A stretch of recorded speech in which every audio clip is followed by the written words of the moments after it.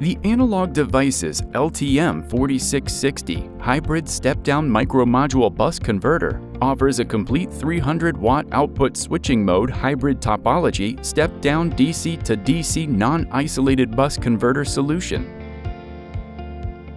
The LTM4660 features an exposed power inductor on top of the package. This inductor creates an intrinsic path for heat to dissipate up and out of the module, away from the printed circuit board. The LTM4660 converter incorporates a switching controller IC, power MOSFETs, and supporting components, a few configuration passives, flying capacitors, as well as bulk input and output bypass capacitors are required. The ADI LTM4660 hybrid step-down micro-module bus converter provides frequency synchronization, burst mode operation, and output voltage soft start and tracking. An onboard temperature diode is included for temperature monitoring and multiple protection features are available.